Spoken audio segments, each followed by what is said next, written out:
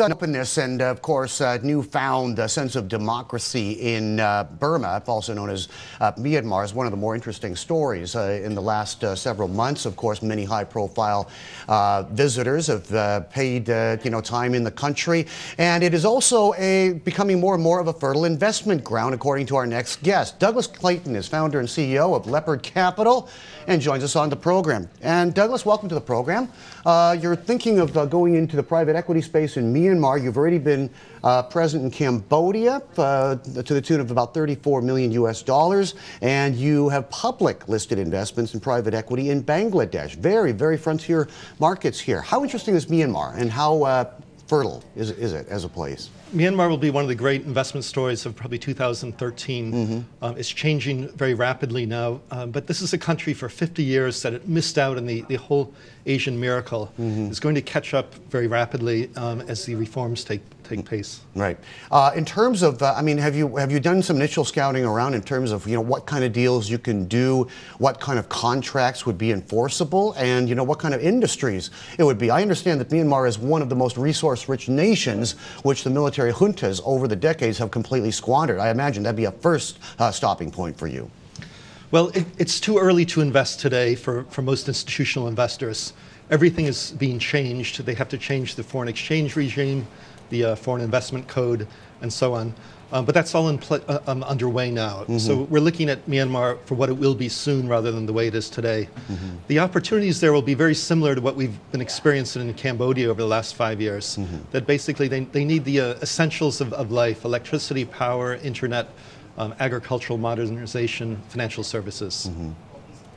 Hi there, it's, uh, it's Lisa over at the SGX. Talk to us about Bangladesh. I mean, it's not a market that many people track closely. Which sectors do you find interesting in that country, and, and which instruments do, do you prefer to invest in?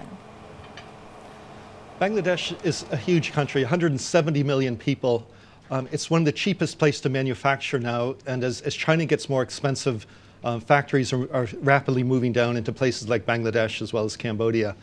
Um, but Bangladesh is much bigger. So we like export manufacturing where, where labor costs are essential.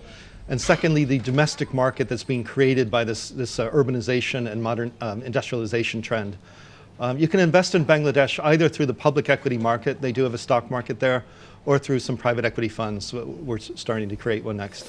Yeah, Doug, uh, you know, this PE money that you put into places like Bangladesh, uh, Cambodia, and likely uh, Myanmar uh, come 2013, uh, uh, let, us go right to the end. I mean, you're in this to make money. Let's talk about exits. I note here that you, it's either through a trade sale or self-liquidating structures, and we can talk about that a little bit later.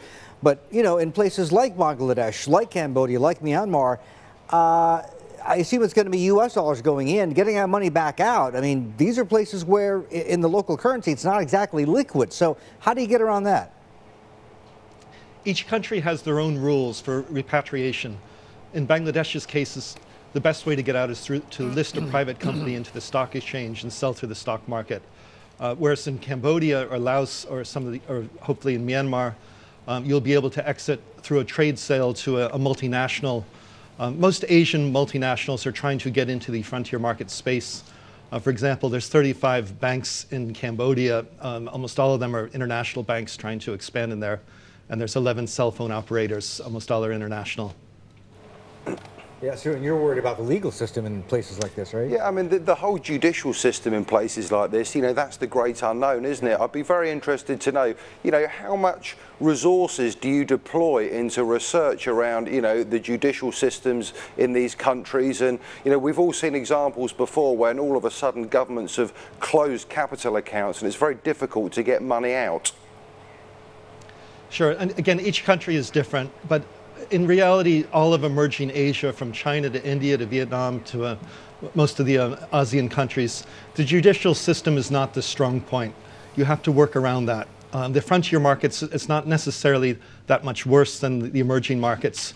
In each case, it's very important to avoid problems by, by being local, by dealing with your investment partners and solving things before they get to uh, the, the worst case of a, a court situation. Doug, good having you on the show with us.